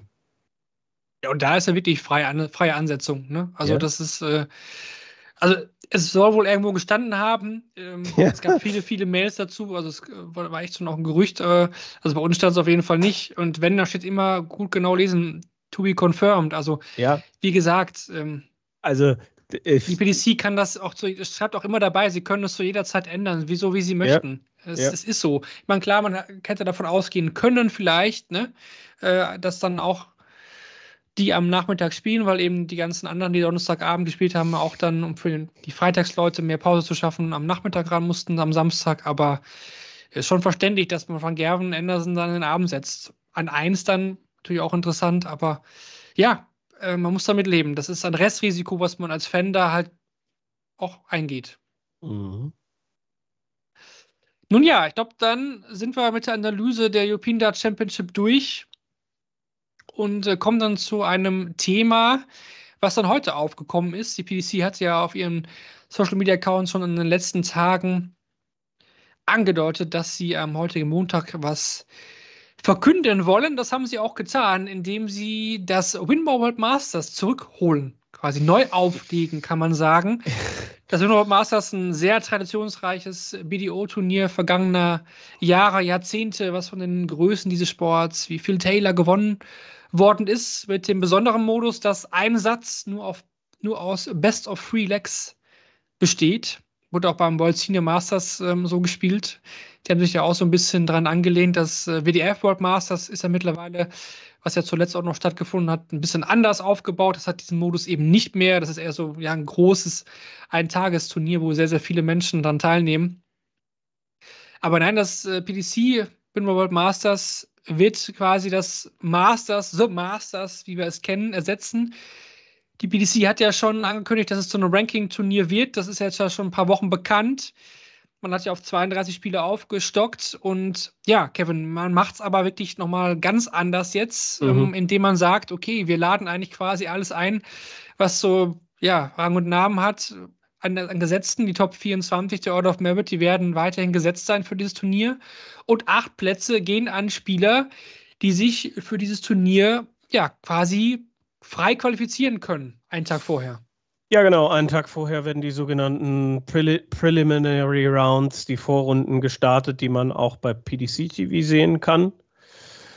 Und da sind dann eingeladen alle Tourcard-Holder, die noch nicht qualifiziert sind, aber eben auch die äh, Top 8 ohne Tourkarte von den verschiedenen Secondary Tours. Also da war von der Challenge Tour die Rede, von der Development Tour, Nordic und Baltic, äh, CDC, sprich Nordamerika, äh, die Asian Tour, die australische Tour, die neuseeländische Tour.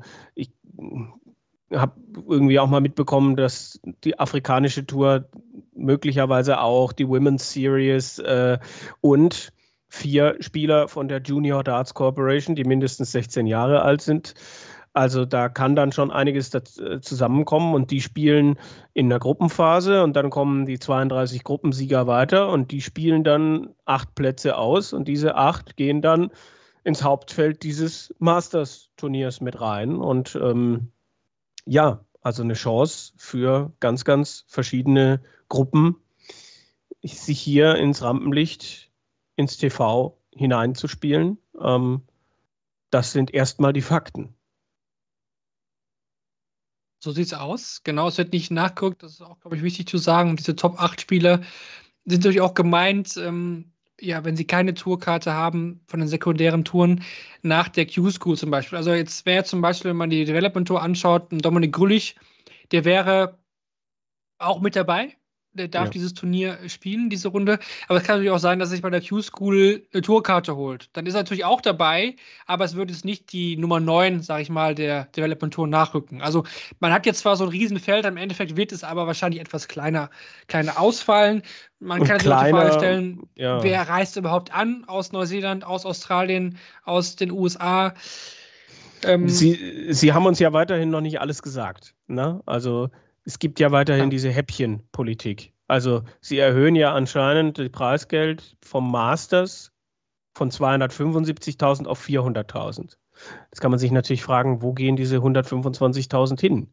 Und äh, wenn man dann rechnet und rechnet, es gibt natürlich die Variante und die Möglichkeit, dass man das dann staffelt und staffelt und staffelt und in jeder Runde dieser Vorrunde ein bisschen Preisgeld hängen bleibt.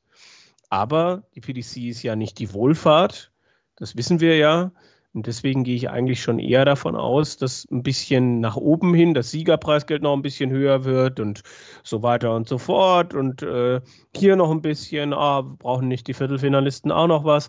Und das maximale ein bis zwei der finalen Quali-Runden, wenn du da ausscheidest, Preisgeld ausgeschüttet werden. Ich würde es mir anders wünschen, aber ähm, ich sehe das noch nicht. Und dann muss man eben einfach sehen, für wen ist das interessant. Ein Dragutin Horvath hat auch schon die UK Open ausgelassen. Äh, ja, familiäre Verpflichtungen auch, okay. Aber wenn du hier keinen Anreiz schaffst, dann, dann wirst du einerseits Spieler außerhalb von Europa kaum bekommen. Vor allem, wenn dann jemand wie, weiß ich nicht, ein Christian Perez, der dann überlegt hat, ich gehe im Januar, äh, komme ich nach Europa oder Australier, Neuseeländer, Nordamerikaner und spiele die Q-School wo sie dann eh schon wissen, ich bin eine Woche in Europa und es schließt sich ja nicht direkt an. Das heißt, da liegen ja dann zwischen Q-School und äh, Winmar World Masters nochmal zwei Wochen dazwischen. Da dann zu hoffen, dass bei keinem großen monetären Anreiz äh, die ganzen internationalen Leute kommen, weiß ich nicht. Also sehe ich noch nicht. Viele Tourcard-Holder werden das machen, aber ja, auch ein Paul Krone wird sich die Frage stellen, gehe ich da einen Tag hin und spiele und mache und tue und dann kriege ich kein Geld und ja, bei Pro Tour Turnieren, da bin ich zwei, da bin ich drei Tage sicher unterwegs und habe mhm. mindestens zwei Turniere garantiert. Und auch hier diese, diese Gruppenphase, äh, wenn dann jeweils nur der Gruppensieger durchkommt, und du 32 Ach, Gruppen hast. Ja. Das ist halt, das sind Fünfer-, Sechser-Gruppen.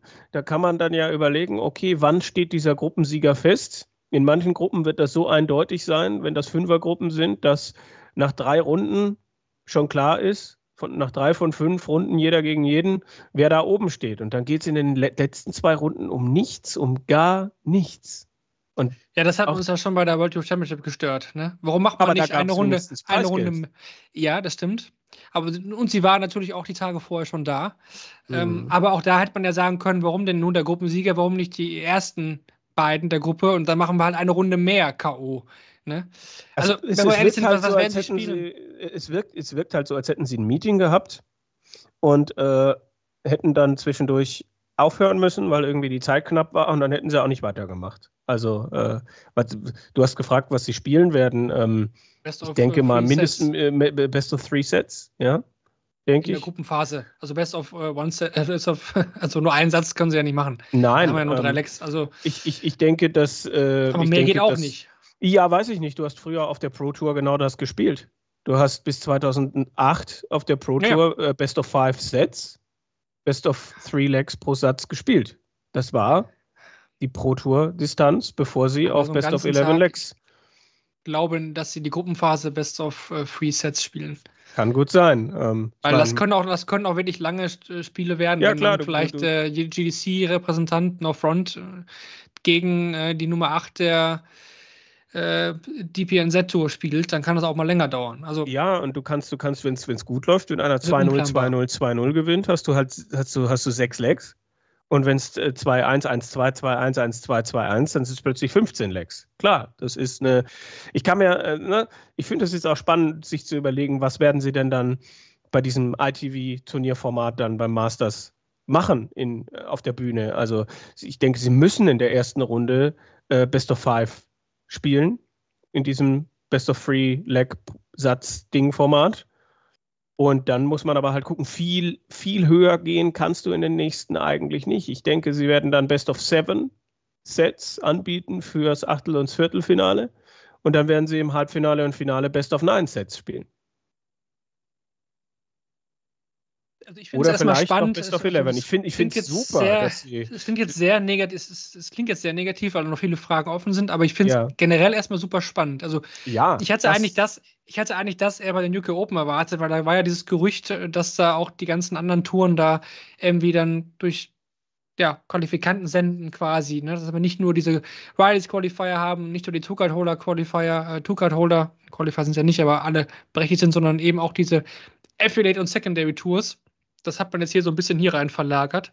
Ja. Und ich also finde gut, das, dass gestreamt wird, auch dieser ja, erste Tag. Ja. Das gefällt mir, weil das ist auch eine Forderung, die wir oft auch bei anderen Sachen, anderen Turnieren geben. Das finde ich sehr, sehr gut. Aber klar, es ist ein zehn Jahres Stil wohl mit Winmau, also das ist auch dann anscheinend eine Geschichte, die man jetzt langfristig so weiterführen möchte. Aber auch ich habe die offenen Fragen, was Preisgeld angeht und Modus und so weiter. Aber generell ist mein Fazit erstmal positiv, dass sie mal was Neues machen. Also ja. eigentlich war nichts Neues, aber was Altes Neues quasi. Ja. Neu auflegen. Ich meine, Neuer der Set-Modus nochmal mehr. Also Best of ja. Relax ist ja. geil. Das ist super geil. Das ist ein ganz interessanter Modus. Ähm, ich finde noch, was man noch diskutieren kann, warum mussten es jetzt die Top 24 sein? Ist mir ein Tick zu viel. Ich hätte lieber mhm. Top 16 gesagt und dann 16 Plätze. Ähm, da kann man jetzt wieder auch diskutieren, das verteilen wir natürlich dann wieder nach oben alles in der Order of Merit. Ne? Die bekommen wieder sicheres Preisgeld, aber ist dann irgendwann auch schon fast egal, weil das ja eigentlich bei jedem PDC-relevanten Major so ist. Ähm, aber 16, 16 hätte ich noch spannender gefunden. Ja, ja, ja. Ich, ich meine, am spannendsten hätten wir natürlich alle gefunden, wenn niemand fix qualifiziert gewesen wäre und alle durch die Vorrunden gemusst hätten. Ähm, aber dass dann ein TV-Partner sagt, hey, äh, wir brauchen einen gewissen Grundstock an großen Namen, die da fix dabei sind, das kann ich, kann ich in gewisser Weise auch nachvollziehen. Ähm, und ja, es ist. Ah, gut. Äh, ja. Vielleicht noch nicht die Top 16. Also, ja, ja, ja, ich kann das. Ich für, kann für Martin wird es ja. spannend. Für Martin wird spannend. Der ist ähm, hochgerechnet aktuell die 22 nach der WM. Der wäre dann quasi unter diesen Top 24. Gaga verliert natürlich viel. Der fällt ja das WM-Halbfinale raus. Ricardo wäre aktuell die 31. Also nicht ausgeschlossen. Martin hat die, die ausreichsten Chancen, da vielleicht schon dabei zu sein, ohne da in diese Preliminary Round zu müssen. Ja. ja. Das vielleicht nochmal dazu. Aber wir haben die PDC oft kritisiert, dass sie irgendwie zu, zu eintönig sind, äh, langweilig. In dem Fall muss man wirklich sagen, finde ich cool, dass sie mal was äh, Altes, Neues machen in dem Fall. Aber ja, ja, ich bin, ich freue mich dann auf das Masters, was der letzten Jahr nie der Fall war. Also, ja, definitiv. Das, das ist cool. Nein, ich finde es cool. Also, äh, ich hatte jetzt, ne, wir haben ja auch bei den Kollegen in England gefragt, was glaubt ihr denn? Und die hatten halt mit einem schnöden TV-Deal gerechnet, der dann da kommt dass irgendwie eine Verlängerung mit Sky da ist oder dass ähm, die PDC zu Netflix geht oder was weiß ich, was da alles vermutet worden ist.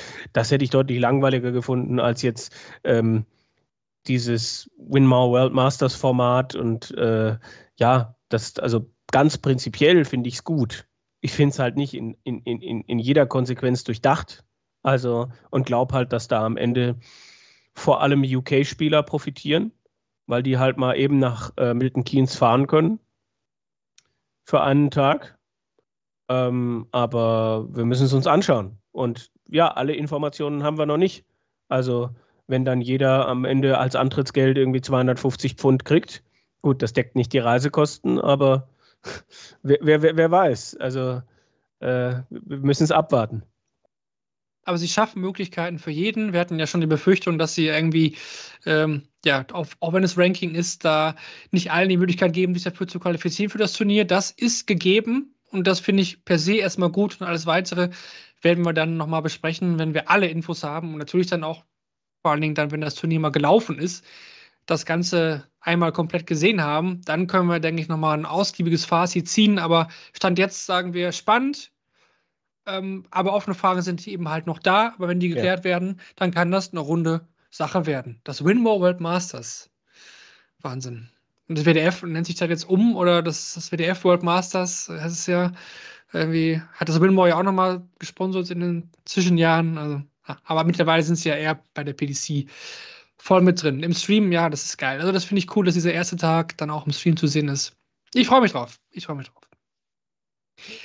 Bis wir bei Masters in Doubt ist noch, zum Beispiel haben wir ja die PDC-WM noch davor und da ist heute ein weiterer Qualifier bekannt geworden. Der indische WM-Qualifier ist zu Ende gegangen. Es wurden drei Turniere ausgespielt und äh, alle drei Turniere hat Nitin Kumar erwartungsgemäß gewonnen, der sich damit auch zum vierten Mal für die PDC-WM damit qualifiziert. Er ist einfach der beste Spieler in Indien, das ist so äh, ohne Mühe da sich qualifiziert, aber wird trotzdem wahrscheinlich ein Spieler sein, den man von International Qualifiern eher, glaube ich, gerne als Los dann bekommt. Dann gab es noch sehr, sehr viel WDF am Wochenende. Das war nämlich das äh, letzte Wochenende, um sich noch für die WDF-Weltmeisterschaft zu qualifizieren. Die letzten Turniere, die reingezählt haben. Es wurde zum Beispiel in Ungarn gespielt, das Hungarian Masters und Hungarian Classics. Die Classics gehen an Jimmy van Ski und Jitka Cesarova, das Masters an Benjamin Pratnehmer und Sophie McKinley. Dann haben wir in Malaysia die Kuching City Open. Da möchte ich trotzdem die Namen einmal vorlesen, wenn ich sie extra schon hier ausgeschrieben habe. Die Siege gehen an bei den Herren an Mohammed Faisal bin Mohammed und bei den Damen an Maisuriati Betem Sein, wenn man das so ausspricht. Aber das wollte ich einfach mal mitgenommen haben. Äh, Victorian Classic, Siege an Michael Kassa und Chris Richardson. Kassa sogar noch für die WM dadurch qualifiziert. Und das Alan King Memorial, das geht an Caden Milne und Nicole Regno. Ja, WDM, WDF-WM ist ein super Stichwort, denn das Teilnehmerfeld ist jetzt bekannt. Es gab noch einige Absagen, erwartungsgemäß, die sich dann eben für die PDC-WM entschieden haben. Dazu gehören Wesley Plazier, Connor Scott, Leonard Gates, Ben Robb, bei den Damen auch Fallon Sherrock, eine Noah Lynn van, van Löwen. Bei Leonard Gates müssen wir auch noch auflösen. Das war ja die Frage am Ende der letzten Folge, dass er sich irgendwie zwischen World Masters, World Senior Masters und Grand Slam entscheiden muss. Das hat er dann pro Grand Slam getan. Also da wird der Soldier dann mit dabei sein. Aber es steht natürlich auch fest, dass wir fünf deutschsprachige bei der WDF-WM mit dabei haben werden. Das ist einmal Lee Mandaloritz aus deutscher Sicht bei den Herren, dazu aus Schweizer Sicht Thomas Junghans und der Österreicher Hannes Schnier. Bei den Damen haben wir Irina Armstrong dabei und wie letztens schon erwähnt, bei den jungen Florian Preis, der es über den Qualifier geschafft hat. Die Preisgelder hat man trotzdem weiter einkürzen müssen. Da hat man wirklich nochmal eingespart. Ähm, die Sieger bekommen trotzdem immer noch so viel wie vorher. Also 50.000 bei den Herren und 25.000 bei den Damen. Bei den Herren ist es aber trotzdem von 170.000 insgesamt auf knapp, sage ich mal, 145.000 runter. Also insgesamt hat man 30.000 Pfund weniger jetzt als im letzten Jahr. Vor allen Dingen in den ersten Runden ist das schon sehr dünn. Also da macht das für Spieler aus Übersee dann für 750 Pfund in der ersten Runde, wenn man verliert, ist es leider ein Minusgeschäft. Das mhm. ist leider so. Ja, Tja. ob, ob man da das Prestigeprojekt WDF-WM braucht, zwei Wochen vor der PDC-WM, der Zeitpunkt, die Art und Weise, ob man sich nicht auf andere Dinge konzentrieren würde und sagen würde, wir machen quasi den World Cup zu unserer WM oder sowas, äh, da bin ich mir nicht so sicher, ob die WDF, die glaube ich schon immer noch wichtig ist, äh, da nicht irgendwie einen gewissen Irrweg geht und sich in dieser WM-Sache äh, einfach verzettelt, weil du wirst nicht an der PDC vorbeikommen und äh, ja, das, das sehe ich, das sehe ich mindestens kritisch. Ja, auch dass man sie immer zwingt, halt sich entscheiden zu müssen, das ist halt, ja, also wir hatten ein nettes Zubot in, in der WM-Vorbereitung auf die PDC-WM für uns, aber wir werden auch berichten natürlich mit äh, den Tagesgeschehnissen in knapper Form. Auf YouTube wird man das ja wahrscheinlich auch wieder verfolgen können. Und ähm, ja, Nostalgie ist da schon noch ein bisschen da. Es hat Lakeside, ne? Das ist halt schon auch noch äh, History, aber ja, die großen Geldtöpfe gibt es eben bei der PDC. Wir blicken auf diese Dartwoche. Wir nehmen auf am Montag, den 28. Oktober und ähm, haben heute kein PDC-Turnier quasi, aber Mittwoch, Donnerstag. Die letzten beiden Players Championship des Jahres 29 und 30. Wir haben einige Absagen. Ein Luke Littler verzichtet, ein Luke Humphreys verzichtet, Michael van Gerven, Gavin Price, Dimitri Vandenberg nicht mit dabei, auch ein Paul Krone und Pascal Ruprecht aus deutscher Sicht haben nicht gemeldet dafür, wird ein Dragutin Horvath mit dabei sein und auch ein Stefan Belmont. Die letzten beiden Chancen, nochmal für die WM was zu tun oder für die Players Championship Finals.